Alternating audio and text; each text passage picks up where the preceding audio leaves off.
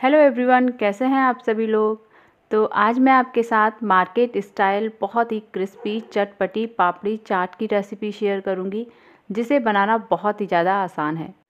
बच्चे हों, बड़े हों या फिर बुज़ुर्ग हों, सभी को ना ये रेसिपी बहुत ही ज़्यादा बढ़िया लगती है और बाज़ार में सभी से मांग मांग कर चटकारे लेकर खाते हैं। तो चलिए दोस्तों, बनाना शुरू करते हैं आज की इस चटपटी सी, क्रिस्पी सी चाट की रेसिपी को। तो इसे बनाने के लिए यहाँ पे मैंने एक बड़े साइज़ का बर्तन ले लिया है और उसमें ना मैंने छलनी रख ली है। अब इसमें हम डालेंगे एक कप भर के मैदा। आप चाहें तो यहाँ पे आधा मैदा और आधा आटा भी ले सकते हैं। और अब उसके बाद हम डालेंगे यहाँ पे एक चम्मच भर के अजवाइन। तो अजवाइन को ना हाथों से क्रश करके डालें और साथ में ही डालेंगे यहाँ पे हम स्वाद के अनुसार नमक और दो चम्मच भर के कुकिंग ऑयल। तो पापड़ी बनाने के लिए यहाँ पे हमें बहुत ज़्यादा ऑयल डालने की ज़रूरत नहीं है। एक चम्मच डाल दीजिए या फिर दो चम्मच। उसके बाद सभी को बहुत अच्छे से मिक्स कर लें और मिक्स करने के बाद थोड़ा थोड़ा पानी डाल के इसे आप गूँथ के तैयार कर लें। तो इसका जो आपको डो लगाना है, वो बहुत ज़्यादा मुलायम नहीं लगाना है। आपको इसका डो जो है थोड़ा सा हार्ड लगाना है। अगर आप इसका डो जो है वो थोड़ा सा लूज़ लगाएँगे ना तो जब आप पापड़ी बनाकर तैयार करेंगे तो वो थोड़ी देर बाद ना सॉफ्ट हो जाएँगी, बाज़ार जैसी एकदम क्रिस्पी करारी नहीं बनेगी। तो इसका डो जो आपको थोड़ा सा हार्ड लगा के रखना है और कम से कम इसे पाँच से दस मिनट के लिए ऐसे ही रेस्ट पे छोड़ दें। तो आप यहाँ पे वीडियो में देख सकते हैं कि मैंने बहुत थोड़े पानी का यूज़ किया है और बहुत अच्छे से आटा मैंने गूँथ लिया है। बस अब इसे ना हम रेस्ट पे छोड़ देंगे पाँच से दस मिनट के लिए। इतने में हमारी मैदा जो है बहुत अच्छे से सॉफ्ट हो जाएगी। तो यहाँ पे ना पाँच से दस मिनट कंप्लीट हो गए थे। उसके बाद हम दोबारा से इसे पंच कर लेंगे तीन से चार बार। उसके बाद हम पूरा आटा लेंगे और उसमें से दो बड़ी बड़ी लोई बना के तैयार कर लेंगे। तो यहाँ पे आप कितने आटे की पापड़ी बना रहे हैं, उसके हिसाब से आप ना बड़ी बड़ी लोई बना के तैयार कर लीजिए। और उसके बाद इस तरह से बड़ी रोटी की तरह बेल के तैयार कर लीजिए। वैसे ना पापड़ी बनाना बहुत ही इजी है बट कभी कभी जब हम घर पे बनाते हैं ना तो वो अच्छे से क्रिस्पी नहीं होती हैं, जैसे कि हम मार्केट वगैरह में खाते हैं वैसी। तो उसे बनाने के लिए ना आपको बस थोड़ी सी बातों का ध्यान रखना है और उसके बाद आपकी पापड़ी चाट भी बिल्कुल बाज़ार जैसी क्रिस्पी करारी बनेगी। तो एक तो आप उसमें ना कुकिंग ऑयल कम डालें और थोड़ा सा आटा जो है वो सख्त रखें।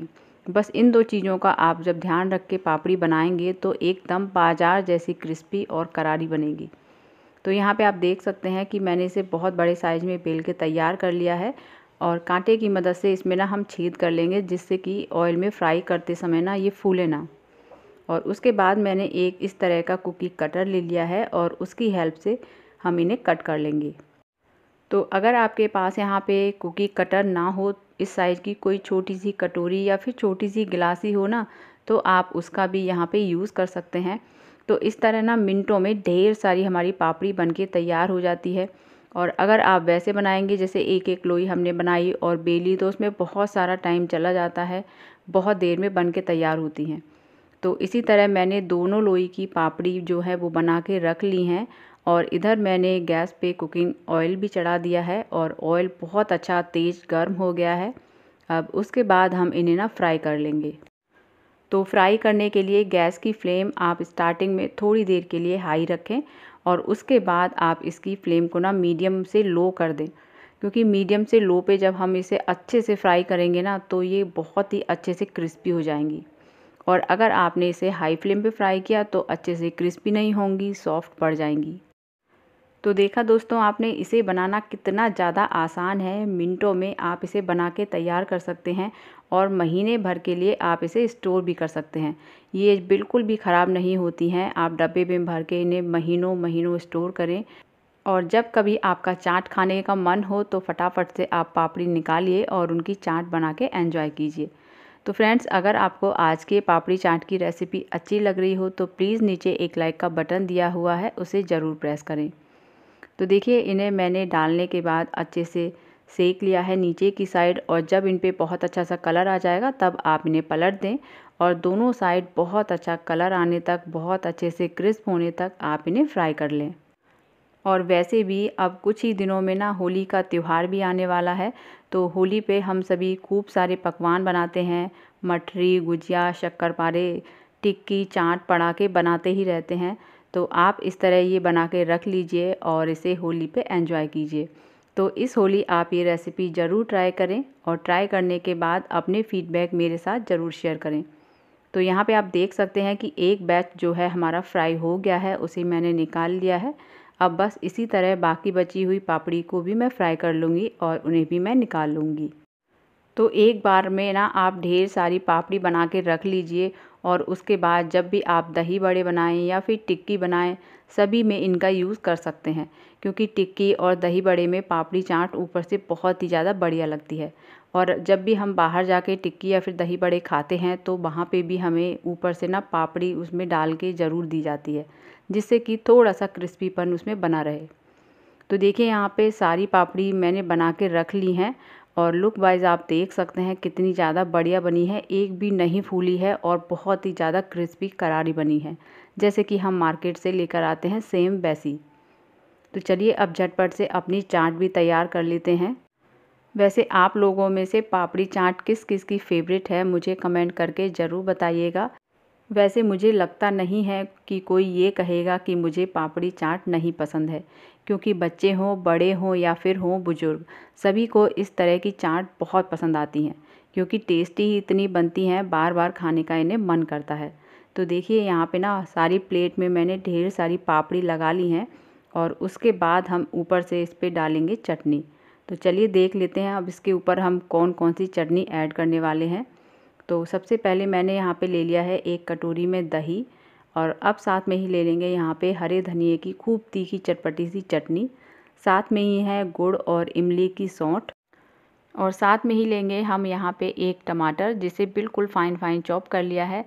साथ में ही एक उबला हुआ आलू है और एक लिया है मैंने प्याज, उसे भी बिल्कुल फ़ाइन चॉप कर लिया है। साथ में ही लिया है मैंने सेब भुजिया तो चलिए अब चाट बनाना शुरू करते हैं। तो सबसे पहले इस पर डालेंगे दही और दही डालने के बाद अब हम डालेंगे हरे धनिए की चटनी। तो यहाँ पे आप इसमें चटनी कैसी खाते हैं, कम या ज़्यादा वो आप अपने हिसाब से बना सकते हैं। और लास्ट में अब डालेंगे इसमें हम गुड़ और इमली की सौंठ।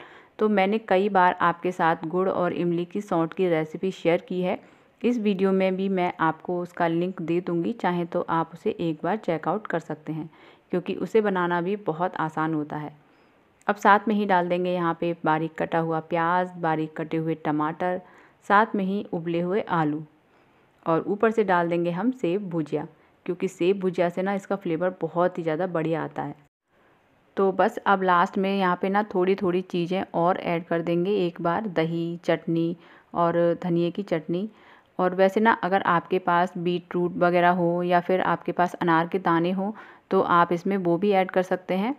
तो यहाँ पे वेरिएशन आप अपने अकॉर्डिंग भी कर सकते हैं, जैसी भी आपको अच्छी लगे। मेन तो ये होता है कि हमारी पापड़ी जो है वो कैसी बनी है क्रिस्पी करारी एकदम होनी चाहिए। और अब इसके बाद हम इसमें कुछ सूखे मसाले भी ऐड करेंगे, जैसे कि सफ़ेद नमक, काला नमक, लाल मिर्ची पाउडर, भुना हुआ जीरा और साथ में ही थोड़ा सा चाट मसाला। क्योंकि इन सभी के बिना जो है इसका फ्लेवर बिल्कुल अधूरा है। तो देखिए फ्रेंड्स यहाँ पे हमारी बहुत ही टेस्टी अमेजिंग सी चटपटी सी चाट जो है बन के बिल्कुल तैयार है। तो इसे देखकर आप लोगों के मुँह में भी आ गया ना पानी, क्योंकि आप सोच ही सकते हैं लुक वाइज कितनी ज़्यादा अच्छी लग रही है तो खाने में कितनी ज़्यादा डिलीशियस होगी। तो चलिए दोस्तों, मैं तो इसे करती हूँ एन्जॉय और जब तक आप चैनल को कर दीजिए सब्सक्राइब और वीडियो को लाइक और शेयर तो मैं मिलती हूँ आपसे एक नई वीडियो में एक नई रेसिपी के साथ। तब तक के लिए bye bye and take care